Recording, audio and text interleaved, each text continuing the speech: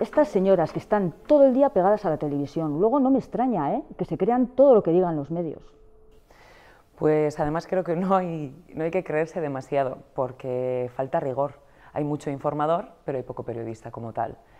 Entonces, además de que considero que las periodistas deberíamos estar formadas, igual que se está formado en economía, en política, deberíamos estar formadas también en derechos humanos, por lo menos unos mínimos, y tener perspectiva de género, porque es la forma además de poder hacer pedagogía de los derechos humanos y extenderlo a toda la sociedad.